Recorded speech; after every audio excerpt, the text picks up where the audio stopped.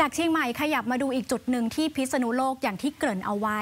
พิษณุโลกรับน้ำต่อจากสุขโขทัยตอนนี้ได้รับผลกระทบน้ำท่วมนานเกือบเดือนแล้วนะคะ น้ำไม่สามารถระบายไปไหนได้ แม้ว่าปีนี้กรมชลประทานจะมีกำหนดการระบายน้ำเข้าทุ่ง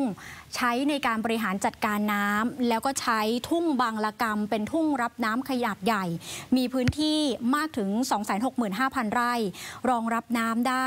400 ล้านลูกบาทเมตร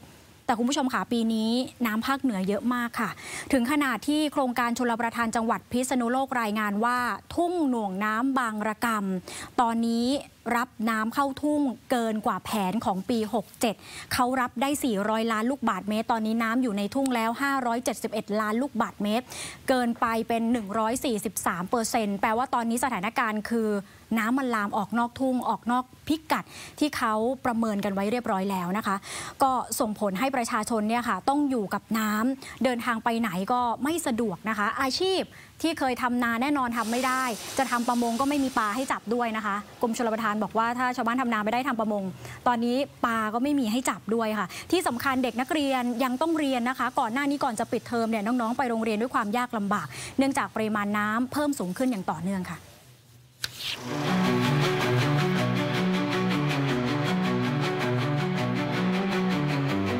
อนแรกที่เราได้ยินคำว่าบางละกาโมเดล ก็ในในบทบทของเราเนาะเราได้ยินคำว่าโมเดลอะซึ่งเราจะต้องเข้าใจอยู่แล้วว่าเอ้ยมันจะต้องดีขึ้นคำว่าน้ำท่วมทุกปีมันจะต้องหายไปแน่นอน ซึ่งเราเข้าใจแบบนั้น รัฐบาลหรือหน่วยงานของกรมชนที่เข้ามาทำโครงการนี้ ไม่มีการมาอธิบายว่าโครงการมันคืออะไร แล้วคุณกำลังทำอะไรอยู่ ไม่มีการ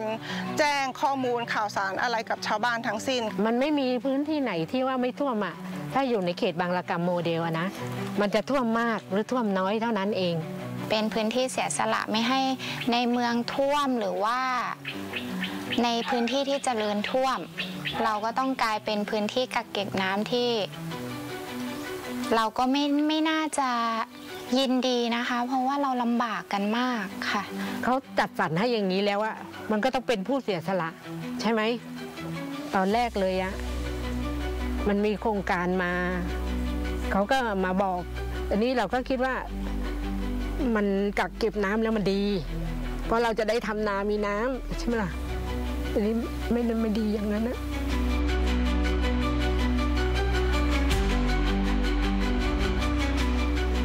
สำหรับภาครัฐผมเชื่อว่าประสบผลสำเร็จ เป็นเป็นยาเขียวที่รักษาได้ทุกโรคโรคเกี่ยวกับน้ำท่วม แต่มันเป็นยาขมแล้วก็เป็นยาพิษสำหรับประชาชนที่อยู่ที่นี่ แต่บารากรรมโมเดลเนี่ยเมื่อมีขึ้นตั้งแต่ปี 60 มาเนี่ยเก็บน้ำบ้านเราให้เราท่วมทุกปี เราถูกบังคับให้ไม่สามารถประกอบอาชีพทำเกษตรได้อีกเลย เพราะเราต้องใช้พื้นที่บ้านของเรา ที่ดินของเรา เป็นพื้นที่หน่วงน้ำเพื่อช่วยเหลือกรุงเทพและปริมณฑล โดยที่เราอยู่ในพื้นที่ที่ขาดไร้การประกอบอาชีพ หรือขาดที่เราเรียกสำคัญคือขาดรายได้โดยสิ้นเชิง อย่างน้อย3เดือนที่มีการหน่วงน้ำ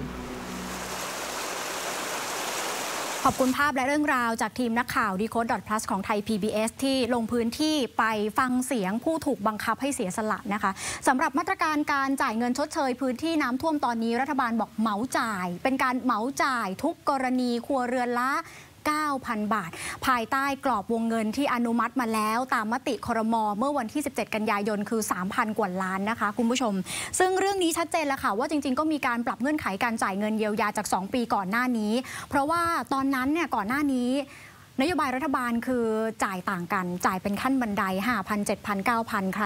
เสียน้อย ก็จ่ายน้อย ใครมีผลกระทบสูญเสียมากก็จ่ายมากตอนนี้ปรับเป็นเหมาจ่ายทุกกรณี ส่วนกรณีของเกษตรกรค่ะ กระทรวงเกษตรและสหกรณ์ก็แจ้งนะคะ บอกว่าจะสนับสนุนสินเชื่อดอกเบี้ยต่ำให้กับเกษตรกรในเขตปฏิรูปที่ดิน มีการแจกจ่ายเมล็ดพันธุ์พืช แล้วก็แจกจ่ายพันธุ์สัตว์ ให้เกษตรกรได้ไปตั้งหลักตั้งตัวค่ะ ก็เป็นภาพ